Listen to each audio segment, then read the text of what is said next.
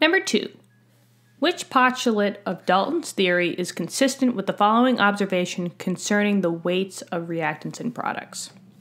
When 100 grams of solid calcium carbonate is heated, 44 grams of carbon dioxide and 56 grams of calcium oxide are produced.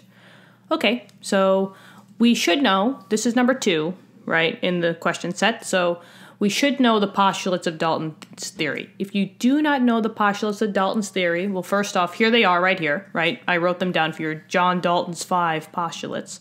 And if you do need a, you know, in depth work through, go back to question one. I, in this chapter, I go in depth into one through five. But let's see if we could just figure it out from here. Now, we want to know which postulate is consistent which basically means which one is correct, right? Which one is are they alluding to in this question?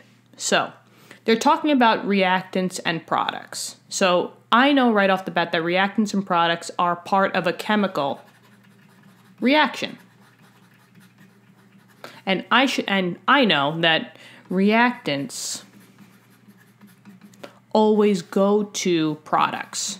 So, Reactants are always your starting material and you will always produce your products. So reactants are always on the left hand side and products are always on the right hand side.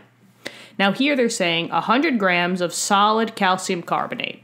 So this is only chapter 2. We didn't do nomenclature yet, so I'm just going to say calcium carbonate.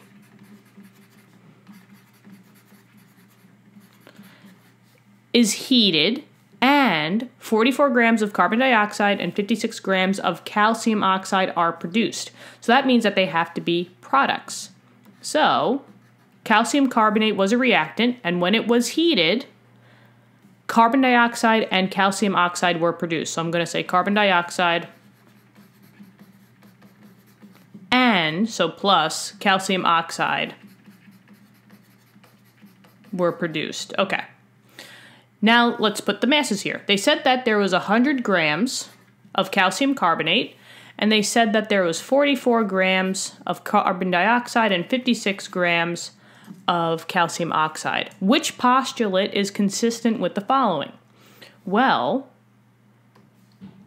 we should know that whatever the mass is on the left hand side has to be equal to the mass of the right hand side because atoms cannot be created nor destroyed, and atoms have matter. So I have a total of 100 grams here. And what's the total on my product side? Well, it's the 44 grams plus the 56 grams, right? The 44 grams of ca carbon dioxide and the 56 grams of calcium oxide. What does that equal? Well, when we add them up, that equals 100 grams. So we have a reaction and the mass, the amount of matter on the left side on the reactants and on the right side are equal. So, which postulate talks about this idea? It is the fifth one. The fifth postulate states that atoms are neither created nor destroyed during a chemical reaction, they're just rearranged. But the key is, is that they cannot be created nor destroyed the amount of matter, the amount of atoms have to stay exactly the same. So, Dalton's,